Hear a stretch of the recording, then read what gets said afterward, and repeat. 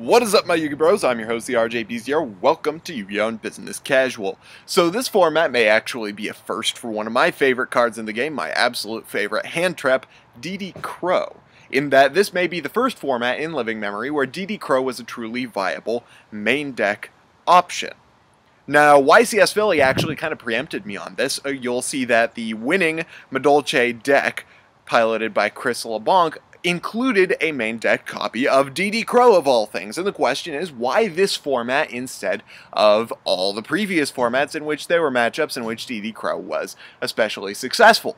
Now, I think that the first explanation is, of course, that, that DD Crow actually doesn't really have a bad matchup this format. DD Crow is pretty universally usable against the matchups you're going to be facing. You're, if you go against uh, Infernity, you can take out the Necromancer target. If you're going against Geargia, once you've taken the armor off the board, board, they're probably going to try and uh, put it back on the board with Mark II, which means you can then DD Crow it when they target it. Anyway, uh, against Mermails, they have Tidal, and they have... Um, what's it called? The uh, the Gund, and then there there are three matchups in, I in which I think the DD Crow is especially useful. Uh, the least of all of them is uh, Madolche. Now Madolche uh, has a lot of things that you, that that are fairly decent counters for them. A DD Crow is one of them, but it's kind of lower on the list. Maxi and Veiler are also very good choices against Madolches. Veiler especially, however, DD Crow being useful against all of those other matchups universally, as opposed to Effect Veiler and Maxi, in which you have to choose one or the other, can get rid of the Anjelly Hootcake combos just as easily as Effect Veiler or Maxi would.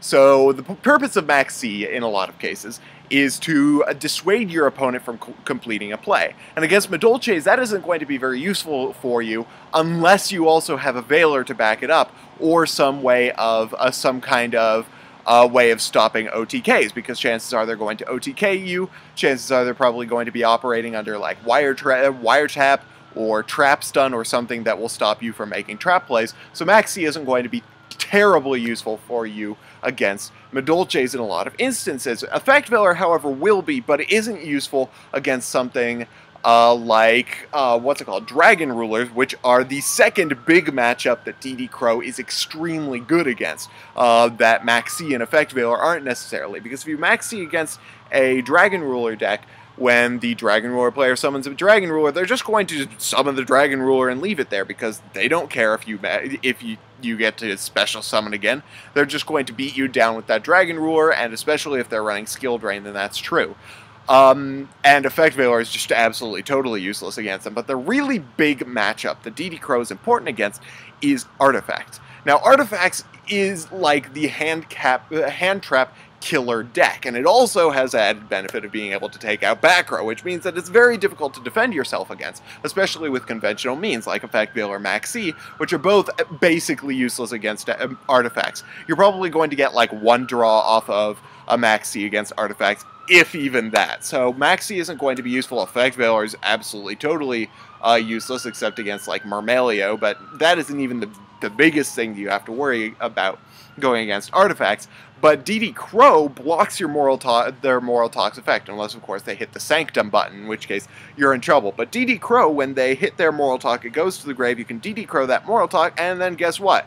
They do not get that Moralltach effect. You get to continue your plays, and they do not get disrupted as easily. There's also, um, if you combine DD Crow with Wiretap, you don't even have to worry about the Artifact Sanctum. You've basically got it covered against the Artifact matchup because you're ready for basically anything. You're ready for their um, their Theosophy, their Sanctum. You're ready for the Trap Hole Nightmare or whatever Trap Hole thing they search with their Myrmeleo, and you're also ready for the Moralltach play.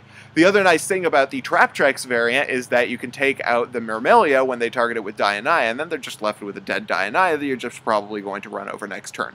So DD Crow is actually an exceptionally good card this format, um, at least in comparison to the other hand traps, and especially in comparison to DD Crow's previous formats. This is just in my opinion, uh, but it is also really against uh, good against Soul Charge, so that's just something to keep in mind. I'm sure that you guys have other opinions. I'd like to hear them in the comment section below. Meanwhile, I hope you guys liked this video. If you did, hit that thumbs up button. If you didn't, let me know why in the comment section. And of course, subscribe for more deck discussion analysis and general Yu-Gi-Oh! shenanigans.